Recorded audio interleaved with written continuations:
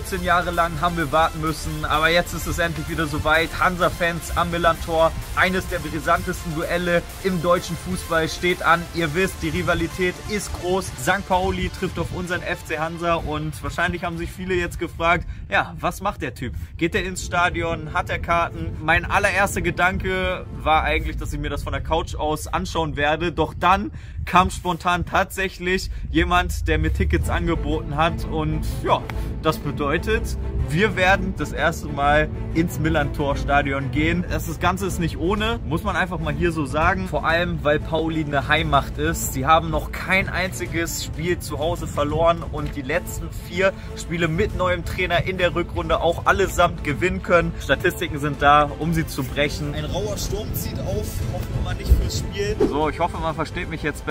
Ich wollte mich auf jeden Fall entschuldigen, dass es so ruhig war bei mir auf Social Media, aber vielleicht kann man es eventuell verstehen, warum ich das getan getan habe. Ich wollte halt nicht rausposaunen, ja, ich bin auf jeden Fall im Stadion, wusste es bis zuletzt ja jetzt auch nicht äh, hundertprozentig äh, und werde mich dementsprechend auch nicht äh, so ins Stadion begeben. Ihr wisst ja, ich bin immer höflich und respektvoll, vor allem im Heimbereich, ne, da passe ich auf und ja, hoffe, wir kommen da unversehrt wieder raus. Matchday ist es soweit. Guckt euch an, wie ich aussehe. Ja, ein bisschen undercover heute unterwegs. Grüße gehen raus an Felix. Danke für die Mütze und ich habe ja, die Jacke an von meinem alten Fußballverein in Hamburg, damit man da ein bisschen untertaucht. Habe ich euch alle schon mal erzählt, wo ich gespielt habe, hier beim ETV. Damals noch mit vielen Paulis und HSV-Fans untereinander. Ja, man hat immer mal ein paar kleine Witze gemacht, aber am Ende hat man sich verstanden. Muss man einfach hier nochmal so sagen. Und äh, genau, von hinten, Eimsbüttel geht jeder davon aus, ach, das ist doch einer, der aus Hamburg kommt. Ne? Also ich bin leicht nervös. Es ist eine positive Anspannung da. Mein Hansaschal habe ich natürlich trotzdem dabei. Wir werden jetzt mit der Fähre auf auf nach Hamburg fahren. Nachdem ich Pauli jetzt ein bisschen gelobt habe, müssen wir aber auch mal auf uns schauen. Vor allem auswärts haben wir immer eine Chance. Ja, in der Auswärtstabelle auf Platz 6 und sind deutlich besser auswärts als zu Hause. Deswegen habe ich schon ein bisschen Hoffnung schön nach oben laufen, um die Aussicht genießen zu können, ist ja klar. Jo, da wären wir. Es geht eigentlich noch von der Kälte. Jetzt bin ich gespannt, ob wir uns die drei Punkte holen. Die Entfernung zwischen Rostock und Hamburg, wisst ihr vielleicht selber, ist nicht so groß. 191 Kilometer, circa zwei Stunden fährt man. Dann wollen wir mal losschippern.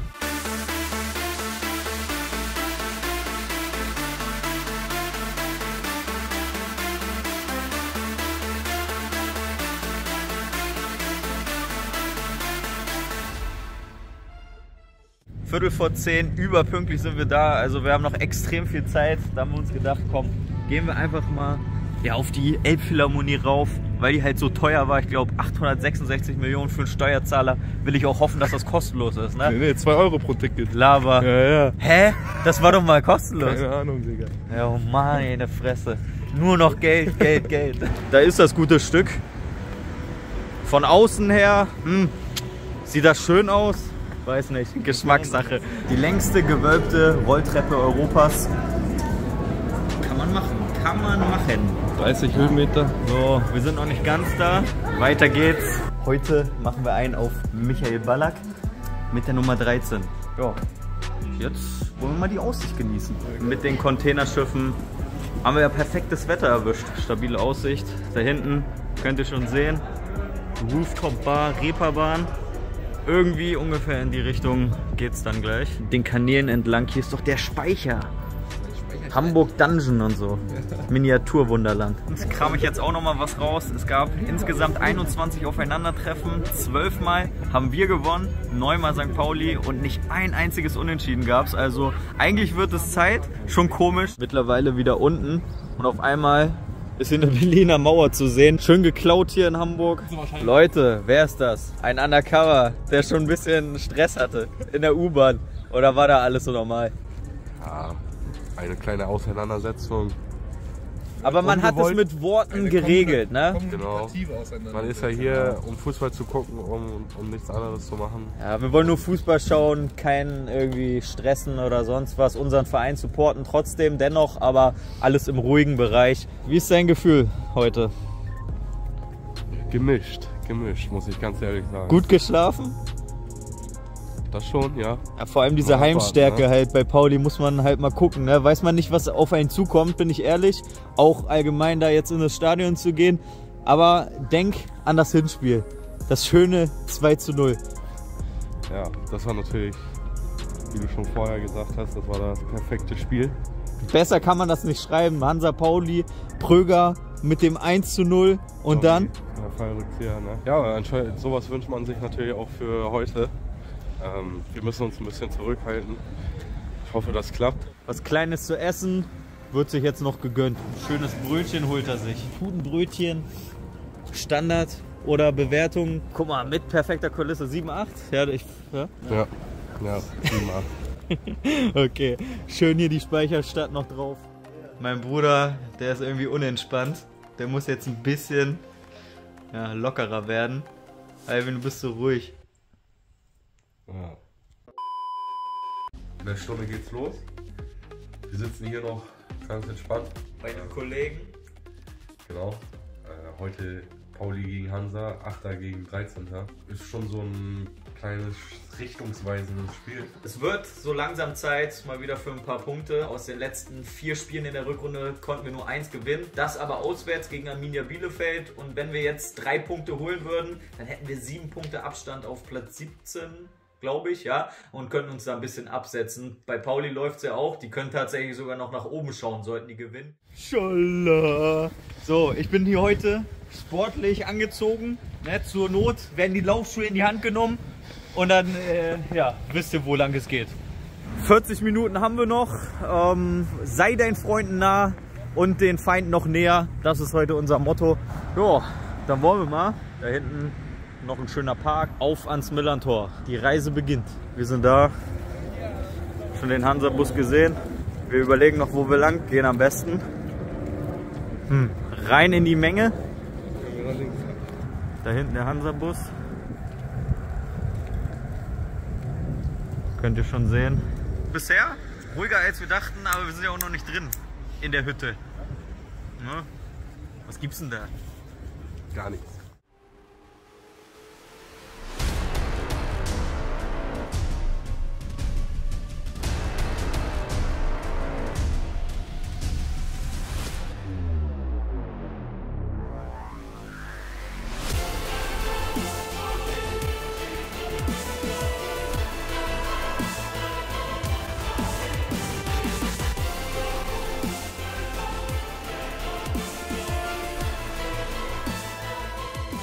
Es hat geklappt.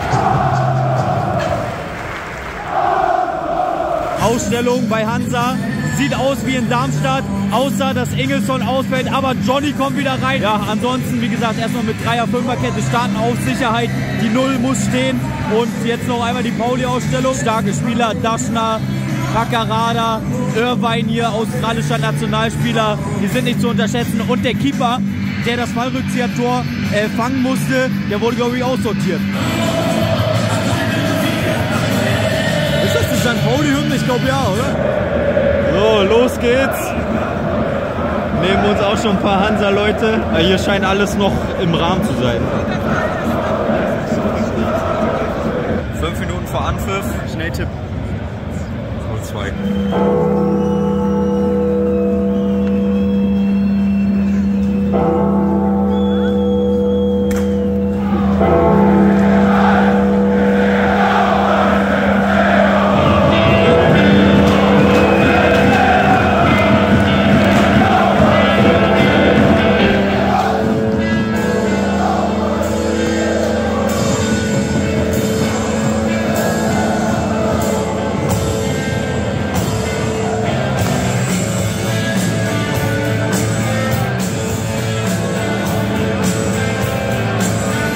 Ein paar Tore wären schön auf unserer Seite. Ja.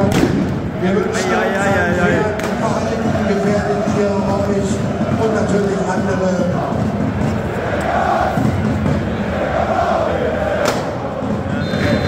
Auf geht's. Komm, null halten zur Pause und dann irgendwie in Führung gehen.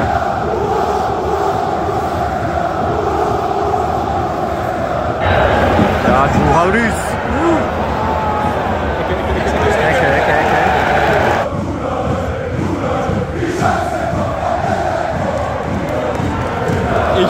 Ich brauche kein Essen. Ja, gut geklärt. Zehn Minuten gespielt.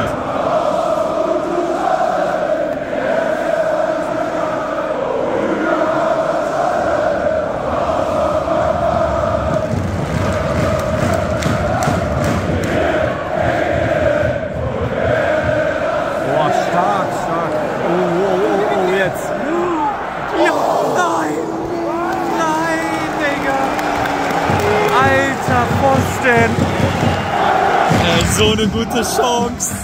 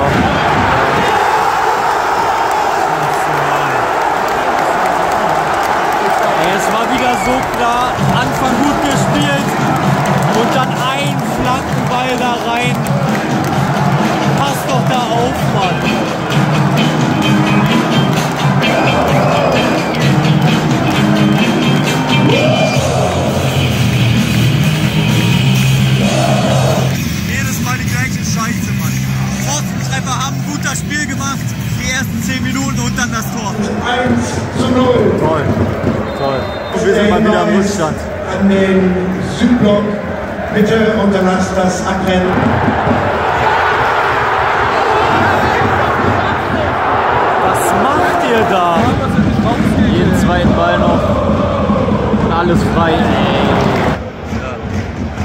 kann gar nichts mehr sagen, Alter. Mir fehlen die Worte wieder. 32 Minuten gespielt. Wieder alles frei außen. Der läuft durch, der läuft durch. Da. Jetzt Schumi, Schumi. Mal was nach vorne. Haris. Ja. Ja, hast recht. Komm.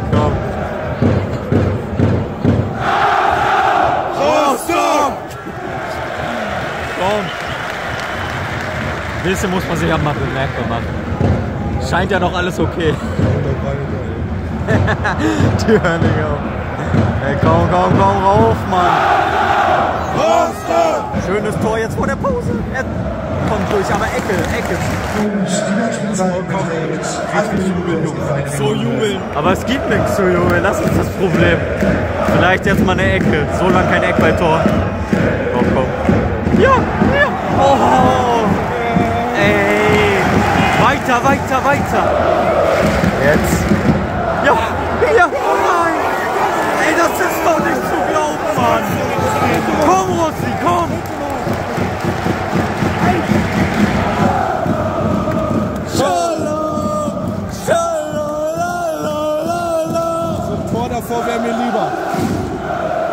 Latte, Pfosten, Latte, Pfosten hier. Was sehe ich hier?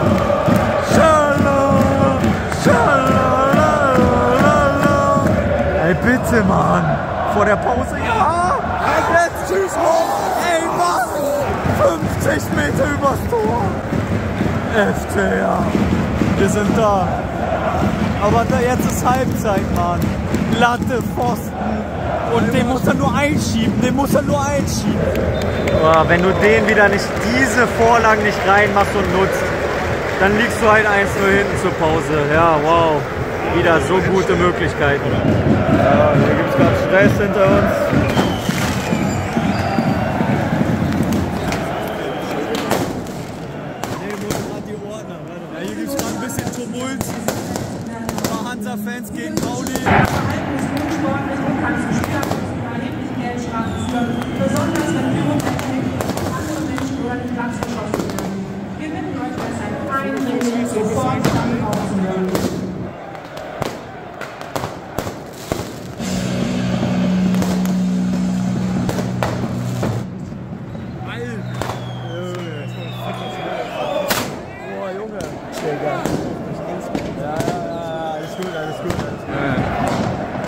Klar, Digga. Ha? Eigenbeschuss hier.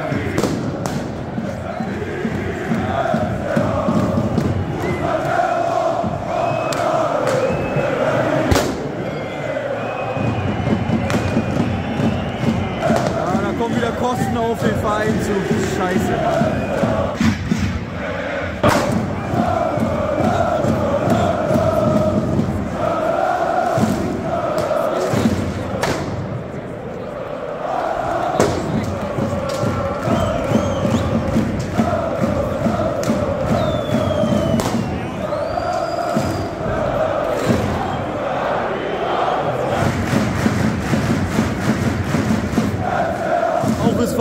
Zweite Hälfte kann beginnen. Das kann uns gehen. Und hoffentlich jetzt mal sportlich erfolgreich für uns. Tor wäre immer schön. So gute Chancen, Alter. War perfekt für meine Kopfschmerzen. Guter Freistoß. Bring ihn mal gut jetzt.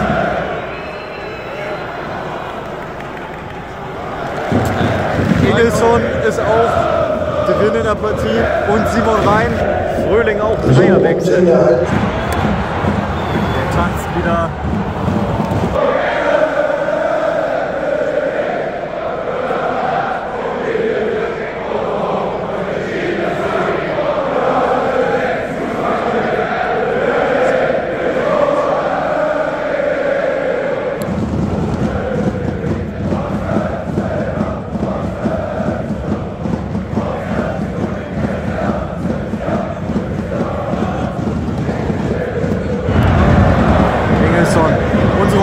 Schöner Ball. Alter!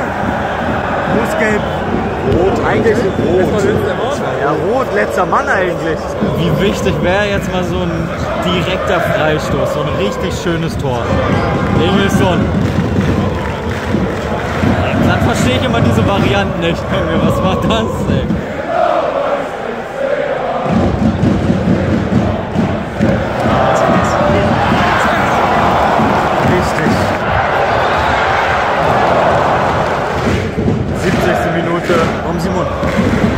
Schuss.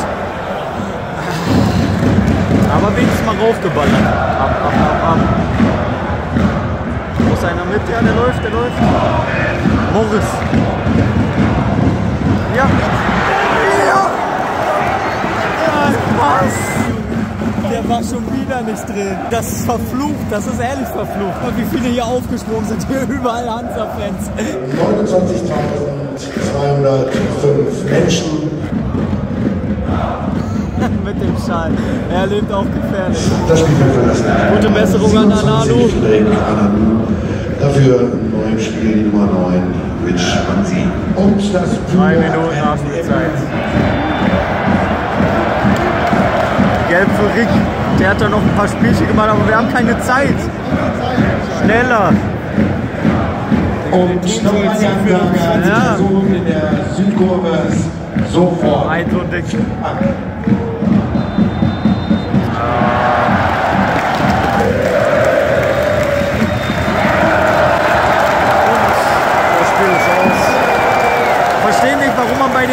Freistoß, die haben sich noch mal fünf Minuten Zeit gelassen, die hätten doch noch mal zwei, drei Chancen mehr haben können. Aber gut, soll es am Ende sein, wir verlieren. Glückwunsch zum Sieg. Wieder Latte, Pfosten. Der Fluch geht weiter ohne Tore. Fahren wir nach Hause. Ich frage mich trotzdem ehrlich, wie wir jemals ein Tor schießen sollen. Nächste Woche gegen Karlsruhe. 1 zu 2 dem Magdeburg hat gewonnen. Magdeburg. Alles klar. Also, nächste. Woche heißt es Punkt. Ich weiß nicht mehr, wie die Tormusik geht. Mal gucken, nächsten Sonntag.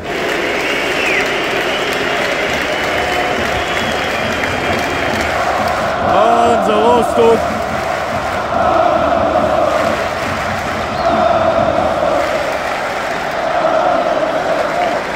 Das war mal wieder gar nichts. Wir sind heil wieder zurückgekommen. Das muss man auf jeden Fall mal sagen. Sowohl ins Stadion rein als auch im Stadion und dann beim Ausgang ist nichts passiert. Alles friedlich, ohne Stress. Wir wurden nicht einmal angemacht. ähm, Hat ganz gut funktioniert. Was nicht so gut funktioniert hat, war in der Halbzeit, aber da komme ich gleich noch drauf zu sprechen. Erstmal zum Spiel. Wir hatten wieder viele Möglichkeiten, aber ich glaube, ihr könnt es auch langsam nicht mehr hören. Also wenn wir gegen den KSC nicht punkten und vor allem mal ein paar Tore schießen, dann brennt die Hütte. Die versprochene Neuerung in der Winterpause, man wolle Offensivfußball spielen, sieht man überhaupt nicht aber ihr könnt ja gerne alles einfach mal reinschreiben, ne? Zu, zu den ganzen, zum ganzen Tag würde ich einfach mal sagen, zur Halbzeit. Also ich war schockiert. Pyro und Böller wurden einfach in die ähm, ja, gegnerischen Blöcke geworfen und es gibt so viele normale, korrekte, nette Hansa-Fans, aber dann gibt es ein, zwei, drei, ein paar vereinzelte Idioten, die den Ruf komplett schaden des Vereins und das muss ich jetzt hier einfach mal so sagen. Ein paar Zentimeter weiter und mich hätte ein Böller komplett hier im Auge erwischt. Ich hatte Glück, dass meine Kamera noch im Weg war. Das ist ein bisschen da abgeprallt, ihr habt es ja gesehen. Und da kann ich dann auch nicht ruhig sein. Das, das geht gar nicht. Also in die gegnerischen Blöcke mit Böllern zu werfen. Da waren kleine Familie, äh, kleine Kinder mit Familien. Die haben sich sogar in der Halbzeit dann versteckt unten. Das das ist krass gewesen. Vor allem sind ja auch immer viele Hansa-Fans in den Nebenblöcken. Ich bin auch nicht gegen Pyro oder sonst was. Wenn das geordnet abgebrannt wird im Block, dann alles fein. Die Stimmung war auch sensationell, also lautstark. Dafür sind die Hansa-Fans bekannt. Und ähm, ja, es gibt mal wieder ein paar Ausreißer, aber das hat, denke ich, jeder Verein. Trotzdem müssen halt dann die normalen Hansa-Fans darunter ein bisschen leiden. Genauso wie Hansa selber, der Verein. Das wird wieder so viele Kosten mit sich bringen und dann fragt man sich immer, warum gibt es keine Neuverpflichtungen? So viel Geld hätte man vielleicht auch schon sparen können und dann hätte man hier noch den einen oder anderen äh, Topscorer an Land geholt. Keine Ahnung. Aber ja, das musste ich loswerden und ich hoffe, ihr habt dafür Verständnis. Ich denke, jeder normale Mensch ähm, sollte da äh, einer Meinung sein. Der eine Kollege neben mir und mein Bruder hatten sogar einen Tinnitus für ein paar Minuten im Ohr. Es gab auch mehrere Verletzte, die ins Krankenhaus mussten. An alle gute Besserung natürlich wünsche ich und Hoffentlich ist da nichts Schlimmeres passiert. Ja, mehr bleibt mir nicht zu sagen. Hoffentlich gibt es in nächster Zeit wieder positivere Nachrichten äh, über unseren FC Hansa, vor allem im sportlichen Bereich. Wir stehen ja gut da, wir haben eine geile Truppe, wir haben geile Fans. Das muss man hier einfach nochmal so loswerden. Und äh, am Ende bedanke ich mich für jede Unterstützung. Ne? Ich versuche mein Bestes. Es ist auch wirklich nicht ohne, ab und zu sehr, sehr anstrengend. Ähm, man sieht das vielleicht gar nicht so drumherum, das ganze Plan hier, da und sowas. Aber ja, ich weiß, dass es viele zu schätzen wissen. Und ähm, ja, dafür wollte ich mich nochmal bedanken. Jetzt wünsche ich euch allen eine entspannte, angenehme Woche. Und äh, wir sehen uns beim nächsten Mal wieder. Macht's gut, bleibt stabil, haut rein und bis zum nächsten Mal.